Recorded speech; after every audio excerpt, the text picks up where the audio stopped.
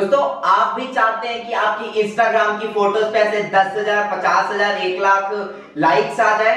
तो उसके लिए आप सबको करनी पड़ती है थोड़ी बहुत एडिटिंग एंड मैं आज की वीडियो में बताने वाला हूँ कि ऐसी तबाही एडिटिंग एक एप्लीकेशन के थ्रू एंड उस एप्लीकेशन का नाम है लाइट जो कि काफ़ी अच्छी आपकी फ़ोटोज़ को इनहेंस कर देता है। अगर मैं आप सबको एक फ़ोटो दिखाऊँ तो आप देख सकते हैं, ये एक बंदे की फ़ोटो एंड इसको ये नॉर्मल सी फ़ोटो है, इसको मैंने चेंज कर दिया इस फ़ोटो में। तो आप देख सकते हैं काफ़ी अलग हो जाती है, काफ़ी डिफरेंस आ जाता है दोनों फ़ोटोज़ के बीच में। एंड ये लाइट रूम बेसिकली करता क्या है कि ये हमारी फ़ोटोज़ को थोड़ी सी लाइटिंग दे के और भी ब्यूटीफुल या आप कह सकते हैं कूलेस्ट बना देता है आपकी फ़ोटोज़ को। तो दोस्तों, आज की वीडियो में मैं बताने वाला हूँ यही सारी चीज़ें। मैं एक फ़ोटो को करूँगा एडिट आपके सामने एंड बताऊँगा कि आप कैसे इस एप्लीकेशन का और अच्छे से यूज़ कर सकते हैं। अपनी फ़ोटोज़ को जहाँ भी आप सबको पोस्ट करना है सो so, मूव करते हैं अपने वीडियो की तरफ़। सो व्हाट इज़ गाइस मेरा नाम है Pankaj and you are watching tech and talk channel दोस्तों आज की वीडियो में मैं बात करने वाला हूँ लाइट एप्लीकेशन की। सो so, वीडियो को स्टार्ट करने से पहले आप मेरे चैनल में नए हैं तो नीचे रेड कलर का सब्सक्राइब बटन आ रहा है। मेक श्योर सब्सक्राइब करके ग्रे कर ले ताकि ऐसे वीडियोस आप देख सके। तो मूव करते अपने वीडियो की तरफ़ और मैं लेके चलता हूँ आप सबको अपने फ़ोन में एंड दिखाता हूँ कैसे इस फ़ोटोज़ को करनी है एडिट मस्त वाली। तो गाइज़ हम आ चुके अपने स्क्रीन में फ़ोन के एंड यहाँ पे आप सबको दिख रहा होगा लाइट रूम का एप्लीकेशन अगर आप सबको ये लाइट रूम चाहिए होगा तो मैं लिंक डिस्क्रिप्शन में दे दूँगा आप जाके वहाँ से इसको डाउनलोड कर सकते हैं। सो so, मैं करता हूँ इसको जल्दी से ओपन एंड ओपन करने के बाद आप सकते हैं एडोब फोटोशॉप लाइट रूम तो, तो यहाँ पे ये हो जाने के बाद आप सबको नीचे यहाँ पे दिख रहा होगा प्लस का फ़ोटो तो यहाँ से आप सब अपनी फ़ोटो को ऐड कर सकते हैं। ऐड करने से पहले अगर मैं आप सबको यहाँ पे दिखाऊँ तो मैंने यहाँ पे अभी कुछ देर पहले ये फ़ोटो को एडिट किया था, जो कि आप सबको मैंने अभी वीडियो में दिखाया था। तो आप देख सकते हैं, अभी मैंने इसको एडिट कुछ इस टाइप से किया था। एंड अगर मैं इसको होल्ड करके रखूँ तो आप देख सकते हैं, बिफोर में आप देख सकते हैं, काफ़ी लग लग नहीं रहा कि अच्छा नहीं लग रहा। एंड वही चीज़ गाइस देखिए लाइट रूम क्या करता है? इसके ऊपर लाइटिंग डाल देता है तो काफ़ी अट्रैक्टिव लगने लगता है हमारी कोई सी भी फ़ोटो जिसमें लाइट आ रही हो। अगर लो लाइट में भी आप फ़ोटोज़ क्लिक करते हैं तो गाइज़ लाइट रूम काफ़ी बढ़िया मैं आप सबको प्रेफर करूँगा कि आप जा सकते हैं इस फ़ोटो एडिटिंग एप्लीकेशन के साथ। सो so, सबसे पहले मैं अभी आप सबको एक न्यू न्यू एडिट करता हूँ एंड बताता हूँ मैंने कैसे इस फ़ोटो को एडिट किया था। सो so, मैं अभी जल्दी से इसको फिर से न्यू ले लेता हूँ। तो न्यू लेने के लिए आप सबको क्या करना होगा? यहाँ पे प्लस का ऑप्शन है। इस प्लस पे क्लिक करिए एंड यहाँ पे सर्च होगा एंड यहाँ से मैं अपनी फ़ोटो कोई सी भी ले लेता हूँ। तो ये जो फ़ोटो को मैंने यहाँ से ऐड कर लिया। तो मैंने यहाँ पे अपनी एक नॉर्मल सी फ़ोटो को ले लिया है एंड आप सब देख सकते हैं, अभी मैंने कुछ इसमें कुछ नहीं किया है तो आप सबको यहाँ पे देखिए, नीचे में बहुत सारे ऑप्शंस मिलेंगे।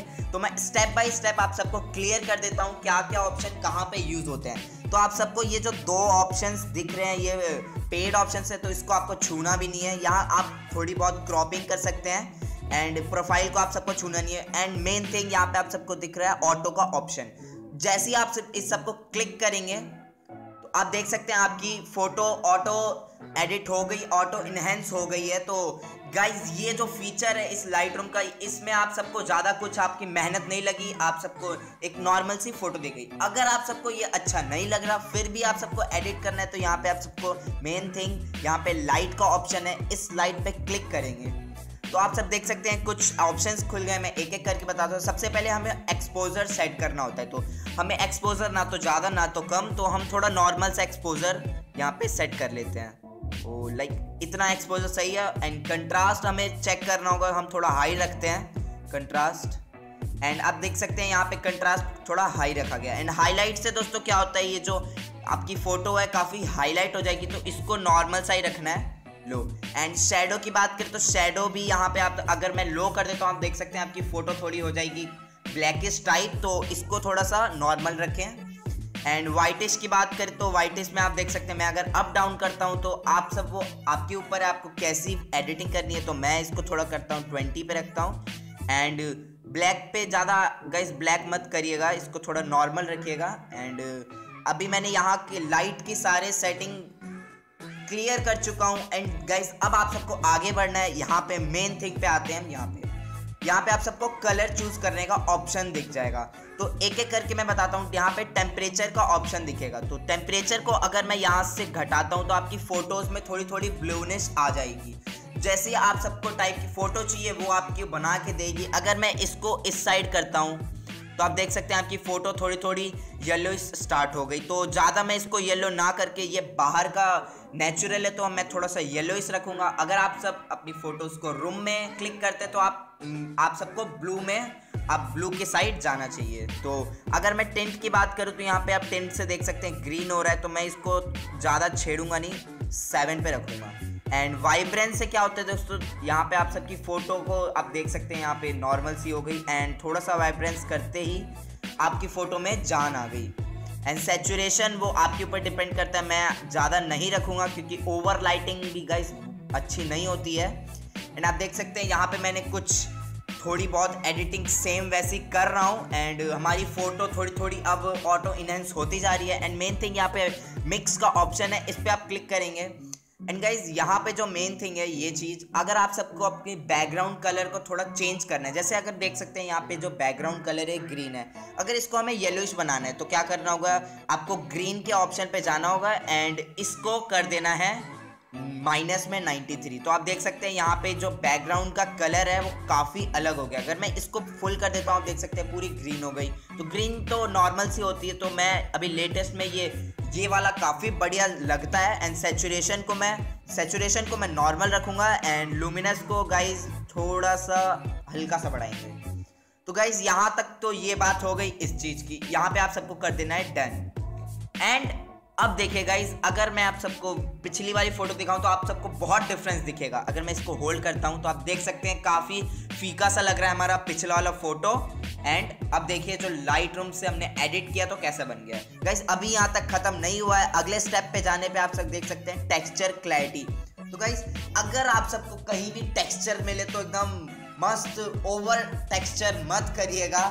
इससे क्या होगा कि आपके ज़्यादा लाइक फेस पे आप सबके सारे टेक्सचर्स दिखने लगेंगे तो इसको करना है थोड़ा सा नॉर्मल ताकि ज़्यादा टेक्सचर्स भी शो ना हो क्लैरिटी को थोड़ा सा ज़्यादा कर देना है, ताकि आपकी फ़ोटोज़ लगे हाँ भाई, बंदे ने डीएसएलआर से ली है।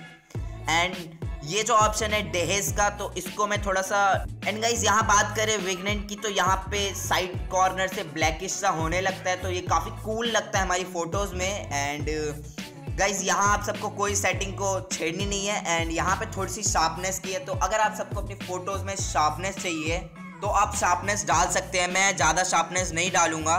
मैं फोर पे रखूँगा अपनी शार्पनेस एंड नॉइस रिडक्शन आपको नहीं करनी है। इस, इन सारी सेटिंग्स को नहीं छेड़ना है।